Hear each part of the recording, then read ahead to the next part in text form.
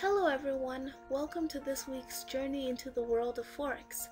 In the last few weeks we've been dealing with a lot of popular indicators trying to get you all acquainted with the tools you all need to help you succeed in the market and today we will be getting into the stochastic and the relative strength index.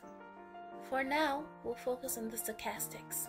Developed by George Lane, this indicator measures the relationship between the closing price of an issue, that's the currency pair, commodity or index, and its price range over a predetermined period of time. Lane's basic premise is as follows. Daily closes tend to accumulate near the extreme lows of the day. Periods of price increases tend to measure closes that accumulate near the extreme highs of the day. The stochastic identifies the precise moment at which bulls or bears are becoming stronger or weaker. Traders are better off trading with winners while pitting themselves directly against the losers. The stochastic is currently one of the most popular oscillators and should form part of your trading toolbox. In particular, traders who use strict computerized systems to execute their trades find that stochastic oscillators have many good qualities. For example, the stochastic has an excellent track record for eliminating bad signals. More specifically, the stochastic uses several steps with the express purpose of filtering out market noise, the type of ultra short-term movements that do not relate to the trader's current trend of interest. Like the RSI, stochastics work on a 0 to 100% range and is an oscillator designed to indicate oversold and overbought market conditions. Unlike the wild RSI that has a preferred overbought oversold setting of 30 to 70%, the most commonly used overbought oversold setting for the stochastic is 20 to 80%. Here is a quick definition. Stochastic is an oscillator that measures overbought and oversold levels in the market. It compares the closing prices in a market to the high and low prices for that market over a certain period of time. Stochastic is calculated by taking the lowest low price and the highest high price for a number of previous trading periods, usually 14. The difference between the current closing price and the lowest low is divided by the difference between the highest high and lowest low and the result is multiplied by 100. The product expressed as a percentage is considered to be the stochastic oscillator. Okay, okay, we know it's becoming very poetic right now, so let's simplify, shall we? When the stochastic oscillator rises above 80%, the market is overbought. And when it falls below 20%, the market is oversold. So stochastic can be seen as strong buying and selling signals respectively. As a rule of thumb, we buy when the market is oversold and sell when the market is overbought. When using stochastic, foreign exchange traders need to take into account the fact that the forex market, being a 24-hour market, has no closing prices. Forex traders typically use the price at the time of the New York Stock Exchange's close as the forex market's closing price, since volume of trading drops off shortly after the close of the New York Stock Exchange. You can see that the stochastic has been showing overbought conditions for quite some time. Based on this, we can guess that the price will, yes, drop. Because the market was overbought for such a long period of time, a reversal was bound to happen. That is the basics of the stochastic. Many traders use the stochastic in different ways, but the main purpose of the indicator is to show us where the market conditions could be overbought or oversold. Now, over time, you will learn to use the stochastic to fit your own personal trading style. Okay, let's move on to RSI. The Relative Strength Index, or RSI, is similar to the stochastic in that it identifies overbought and oversold conditions in the market. It is also scaled from 0 to 100. Typically, Readings below 30 indicate oversold, while readings over 70 indicate overbought.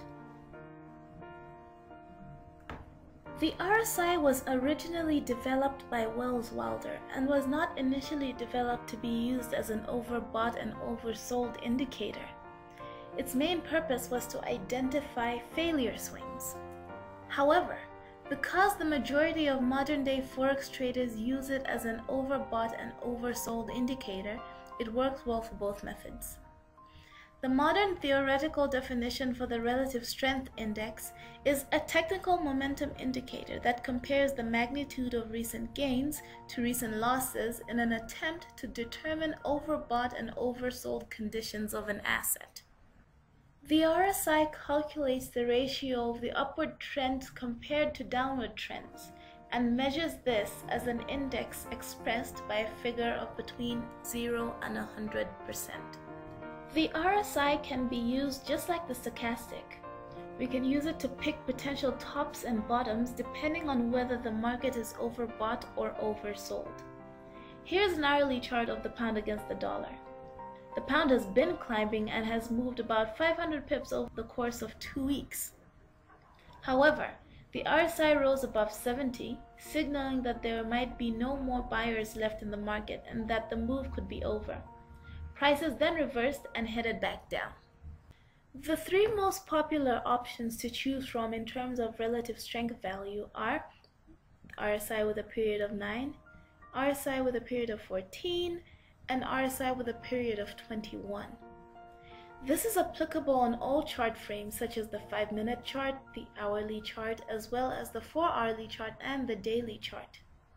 The most popular setting is 14 and is the one we use primarily throughout the webinar series and through our trainings. The RSI is a very popular tool because it also has been used to confirm trend formations. If you think a trend is forming, take a quick look at the RSI and look at whether it is above or below 50. If you are looking at a possible uptrend, then make sure the RSI is above 50. If you're looking for a possible downtrend, then make sure the RSI is below 50. In the beginning of the chart here, we can see that a possible uptrend was forming. To avoid fakeouts, we can wait for RSI to cross above 50 to confirm our trend. Sure enough, as RSI passes above 50, it is a good confirmation that an uptrend has actually formed.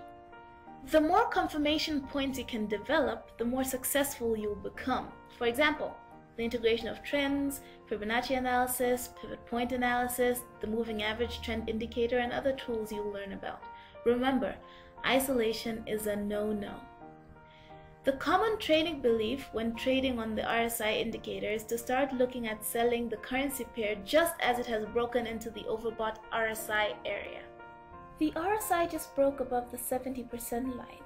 Most novices assume this is a good time to get into a sell position.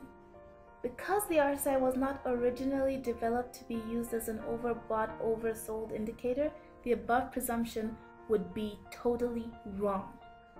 Similarly, if prices break into the oversold area, many novices start looking to buy the instrument.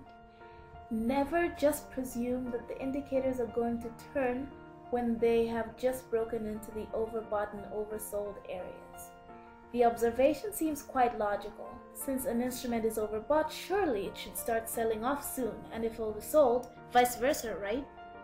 Unfortunately, this logic gets most novices brutally burnt in the marketplace as it would be a severe mistake for you to simply assume the above reasoning is correct. It is very well known amongst professional traders that market price action is usually at its strongest towards the end of its trend wave moves. The reasoning for this is that prices have been trending up and they tend only to retrace when the RSI has crossed back below the RSI overbought level. The bottom line is that prices can hang within overbought or oversold areas. This is determined by the current direction of the trend. RSI values usually hang at the bottom of a downward trend and at the top of an upward trend.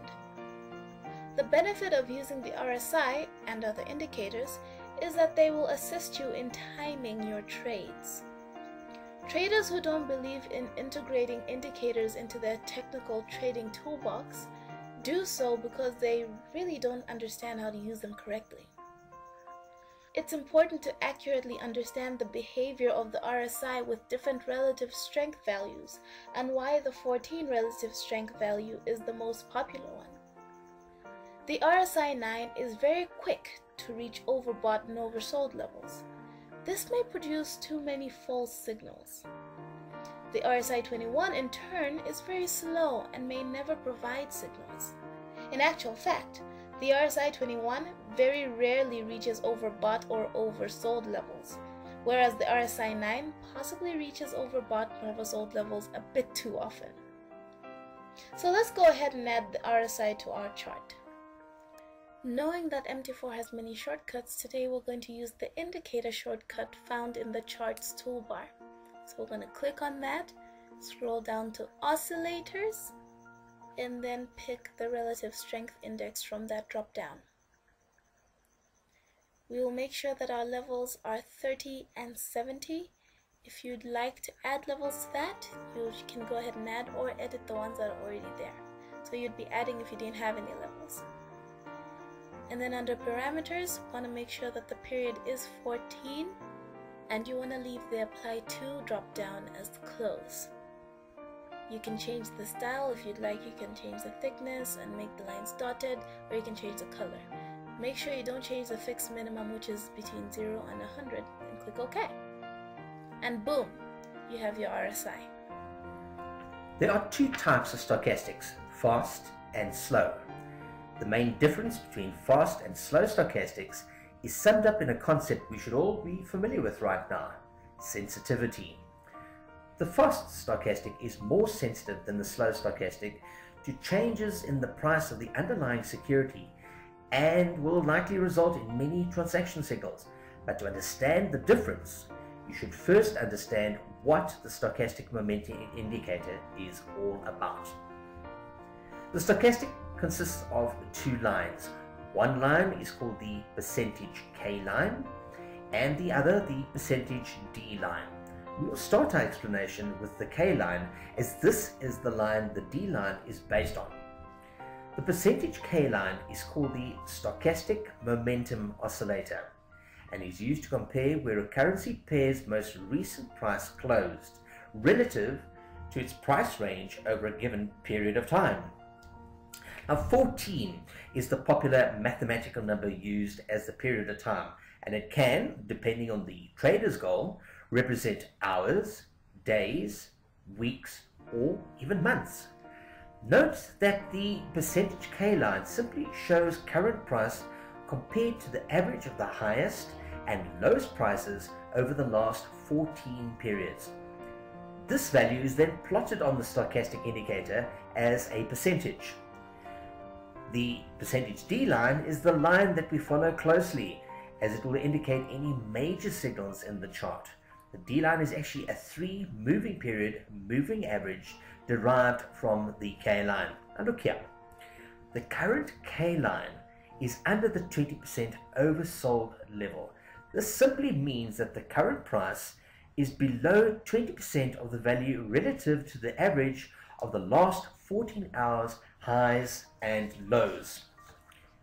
The percentage K line simply reflects the difference between the last 14 hour closed sessions compared to the current price. So let's place the stochastics on our chart. We will use the indicator shortcut in the charts toolbar. And since we've used the stochastic already, it shows up on our favorites list. You will find this under the oscillators list.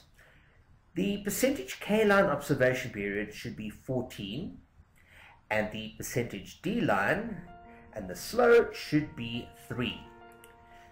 The MA method, moving average method, should be exponential and the fixed minimum and maximum should be 0 and 100 respectively.